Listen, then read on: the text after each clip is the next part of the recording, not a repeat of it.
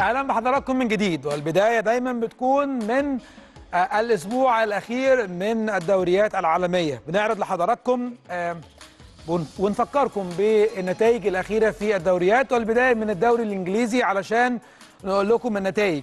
والبداية من يوم الجمعة 25 أكتوبر ومباراة كانت ما بين ليستر سيتي وساوثهامبتون والمباراة خلصت بنتيجة 9-0 زي ما حضراتكم شايفين. ودي كانت أولى آه، جولات الأسبوع ال11 من الدوري الإنجليزي. يوم السبت كان في لقاءات أيضا مهمة. آه، مانشستر سيتي بيفوز على أستون فيلا بثلاث أهداف مقابل لا شيء.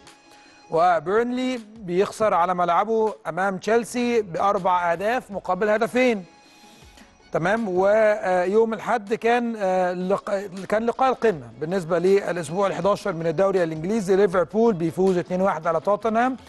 بعد طبعا ما آه، تقدم توتنهام في أول دقيقة بهدف عن طريق هاري كين بيقدر ليفربول عن طريق آه، هندرسون ومحمد صلاح إنه آه، يحولوا تأخر ليفربول من هزيمة إلى مكسب. طيب تسع ماتشات محمد صلاح بيلعبها أمام فريق توتنهام بينجح إنه يحرز سبع أهداف. أكتر لعيب سجل أهداف في مرمى توتنهام لصالح فريق ليفربول. كمان محمد صلاح من حوالي 58 مباراة بيلعبها على ملعب الأنفيلد بيجيب 50 هدف علشان يكون تاني اسرع لاعب في تاريخ ليفربول آه، احرازا للاهداف على ملعب الأنفيلد. وأخيرا مباراة نورويتش سيتي آه، بيخسر اتنين آه، بيخسر واحد ثلاثة لصالح مانشستر يونايتد في مباراة بيحقق فيها مانشستر. الهدف الأول عن طريق ماكتوميناي. عشان يحقق للفريق الشياطين الحمر الهدف رقم 2000 في تاريخ الدوري الإنجليزي. والغريب في المباراة دي إن راشفورد ضيع ركلة جزاء ومارسيال ضيع ضربة جزاء لكن الاثنين أحرزوا ه- أهداف. ده أحرز هدف وده أحرز هدف. نروح لترتيب الدوري الإنجليزي. قبل انطلاق الجولة القادمة في الأسبوع ال 12 وليفربول في المقدمة 28 نقطة. يليه مانشستر سيتي 22 نقطة. لسه سيتي في المركز الثالث ب 20 نقطة أما تشيلسي في المركز الرابع ب 20 نقطة بيتساوى مع ليستر سيتي. وأرسنال في المركز الخامس ب 16 نقطة. أرسنال طبعا بعد التعادل والخسارة اللي تعرض ليهم في آخر جولتين أثروا معاه جدا جدا في آه، النقاط. وبالتالي تشيلسي وليستر يعني بيستغلوا الوضع وبيقفزوا إلى الثالث والرابع في مسابقة الدوري الإنجليزي الممتاز. نروح للهدافين علشان نشوف أخبار الهدافين إيه ومين هو المتصدر في البطولة. ويعود من جديد اللاعب الإنجليزي جيمي فاردي نجم ليستر سيتي بتسع أهداف.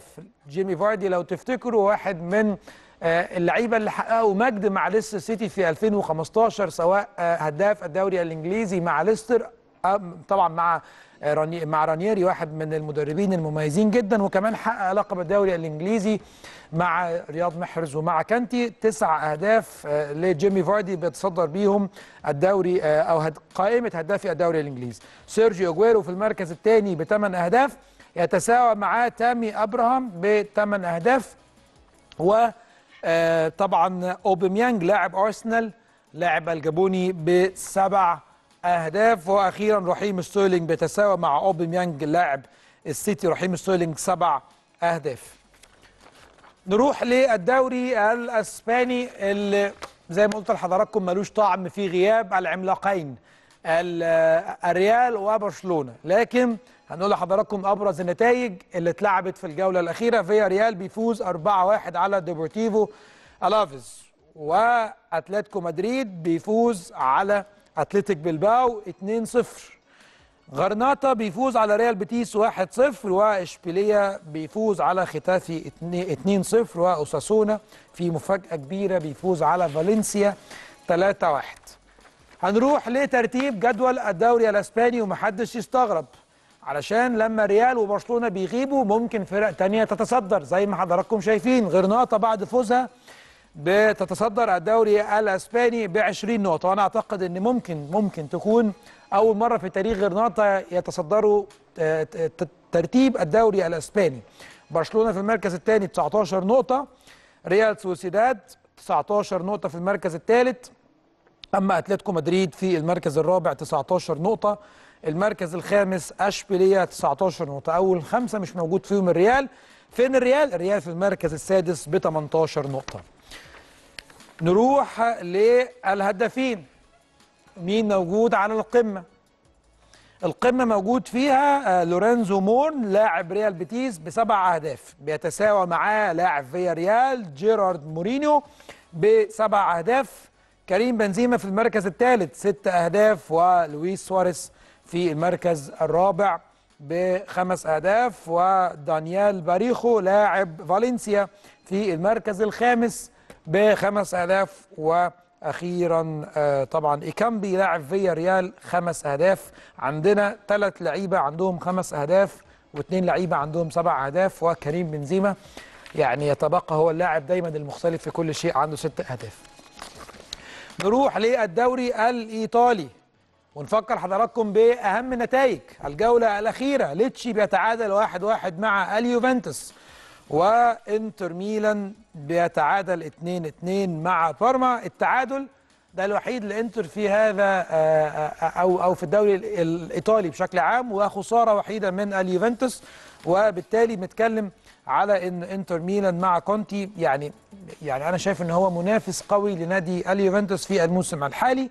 آه بيتعادل مع بارما 2 2 أما سبال بيتعادل مع نابولي 1 1 وروما بيفوز على قمة آه الجولة التاسعة من الدوري الإيطالي في ملعبه الأولمبيكو على إي سي ميلان بهدفين مقابل هدف وفيورنتينا بتفوز آه بتخسر عفوا على أو بتخسر لصالح لاتسيو 2-1 في مباراة أكيد كانت قوية.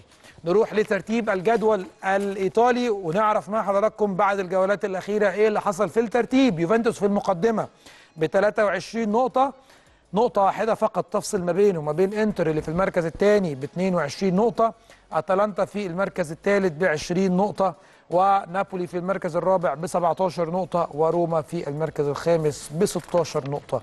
هدافي الدوري الإيطالي في المقدمة إيموبيلي لاعب لاتسيو كالعادة في المقدمة ب 10 أهداف ولويس موريل لاعب أتلانتا 8 أهداف ولوكاكو لاعب إنتر 6 أهداف وبيراردي لاعب ساسولو 6 أهداف ودوفان زاباتا لاعب أتلانتا بست أهداف ومانكوسو لاعب ليتشي خمس أهداف. يتساوى معاه كمان إيدن جيكو لاعب روما بخمس أهداف.